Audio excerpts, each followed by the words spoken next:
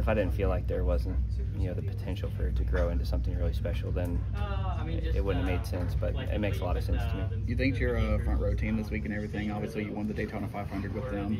Um, was there anything that made you want to to leave to go to a different team, or anything with that team in particular? Um, you know, I mean, I think that nothing. There's nothing that made me want to leave. I mean, we're not leaving on bad terms. They're just weren't in a position to to make a commitment to the future, and so I feel like you know I have an opportunity to do that, and I want to do that. I want to drive for a lot of years in the sport, and I think that that's maybe something that uh, folks are not uh, catching with this is like it, it wasn't like front row came to me and said, "Hey, here's a three-year deal. We want to keep you." So I didn't turn something down. Um, I went and found an opportunity where I could drive for a lot of years. What are you looking uh, forward to with Carson and uh, Corey over there? Well, I mean, you got Carson, who obviously is the future of the team. I mean, he's got a tremendous amount of talent. I think everybody can see that. He's done an awesome job. Um, so hopefully, I'll be able to help him. Um, you know, I don't think I'll help him with speed on the racetrack, but I think I could help him with all the other things that go around making a race team successful. Um, but he's got a bright future, and, and, Corey's always overachieved. He's always had to learn to be scrappy and, and do more with less.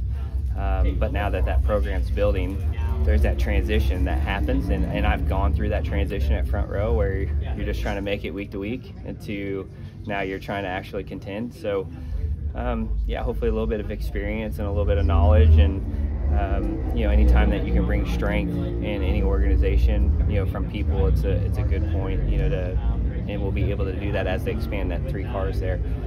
Um, obviously, they're running Zane, but it's a tricky deal with, with Trackhouse and Spire and, and some of those employees being Trackhouse and some being Spire and all those things. So just having that continuity in the shop and be able to add depth to the shop will be important. With how involved you feel with front row, will you play a role at all in finding your replacement in the 34? No, I don't think so. Um, I mean, if they would ask, if they asked me, I would, I would, uh, you know, give my opinion. But I don't think, um, I don't think I'll be in that conversation. But you never know. Who would you want to, to take that seat after you? If you, if you, if you could uh, give your opinion on who would. Oh yeah, it's tough. I mean, it, it's all about what direction you want to go, right, and who's available. And no different than the truck decision that they had last year with with the uh, 38 truck. You know, do you put a young guy in with a lot of upside and develop him to a championship contender, or do you plop somebody in like a Brett Moffitt that can go win the championship today and you know he can win races? And so. I think it'll be just them determining which direction they want to go and for the future of the team. I mean, obviously, you already have Todd, who's um, more seasoned now. I wouldn't call him a rookie, right?